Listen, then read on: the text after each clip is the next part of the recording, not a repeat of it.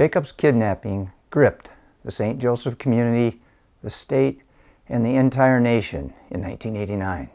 Our family has been lifted up and carried through the agony of the search, the difficult life markers, graduations, family weddings, and the loss of our loved ones.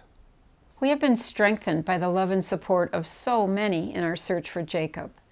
After such a long time, the suddenness of the answer, the horrific last minutes or hour of Jacob's life, and the finality of his death have been so very hard for us to process. It was hard to sleep, hard to eat, hard to think, hard to work.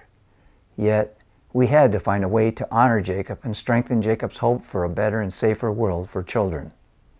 Once again, wonderful people and organizations came forward with tears, hugs, flowers, stories, notes, gifts, and hopes that Jacob's legacy will move forward.